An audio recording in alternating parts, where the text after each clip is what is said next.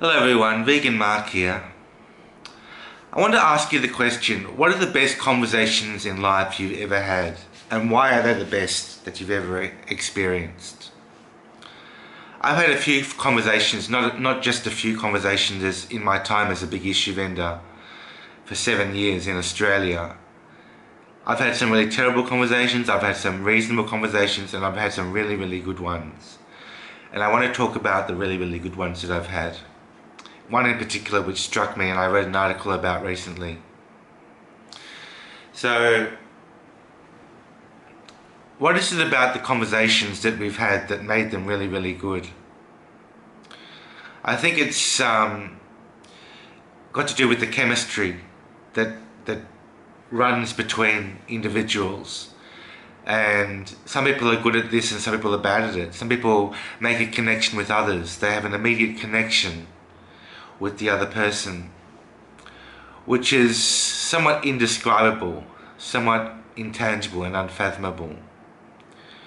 And yet you can feel it. You can feel the warmth. You can feel the humility, the humbleness, the genuineness of these conversations.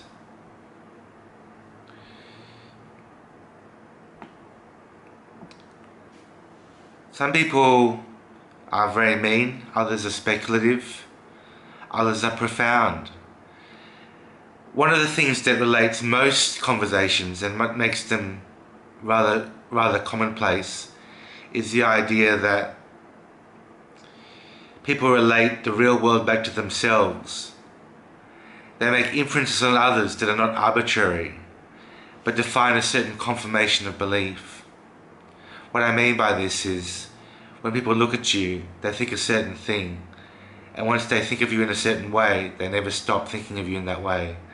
It's when we develop and nurture a different point of view that these things, these conversations can become very, very interesting. Christianity is a particular, um, it's both a melting pot and a nasty um, subject of discussion. Christianity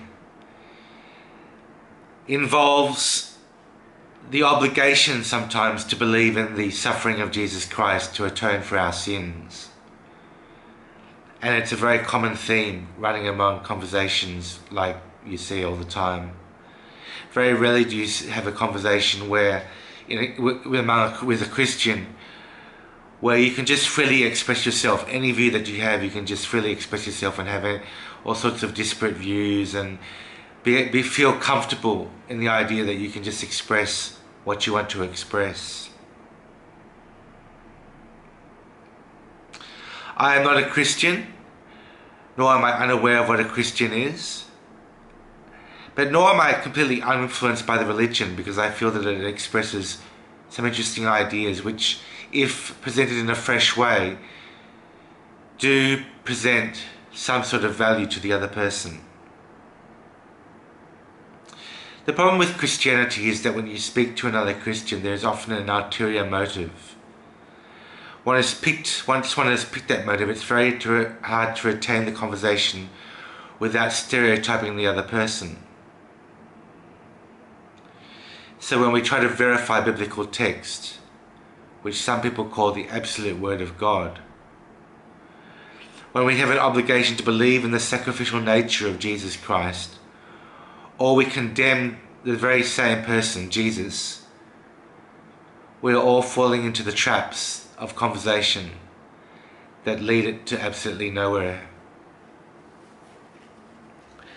So I think that to create an equilibrium in conversation, to create an ongoing chemistry and an ongoing liveliness to the conversation, it's necessary for us to avoid all those pitfalls that pervade a, Christ, a heavily, devoutly Christian conversation.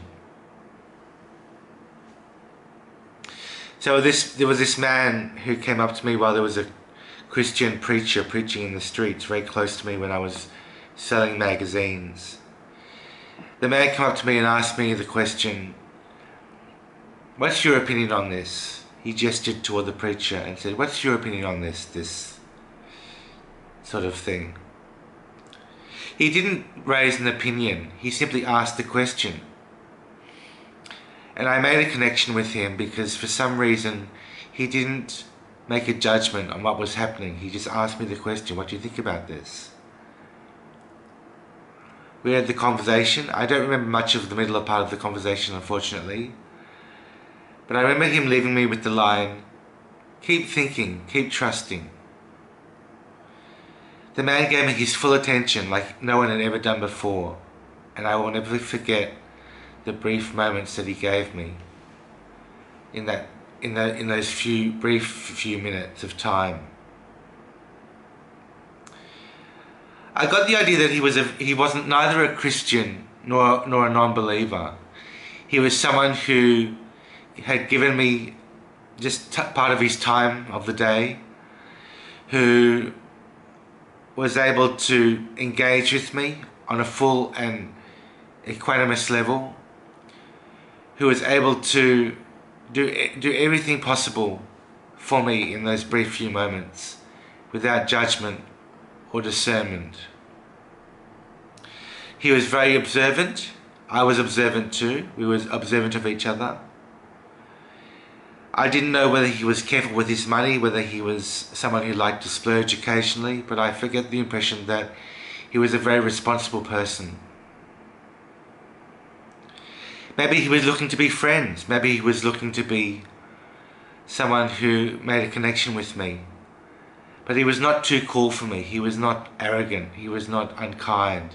He was very kind and he was very responsible with his words and with his actions.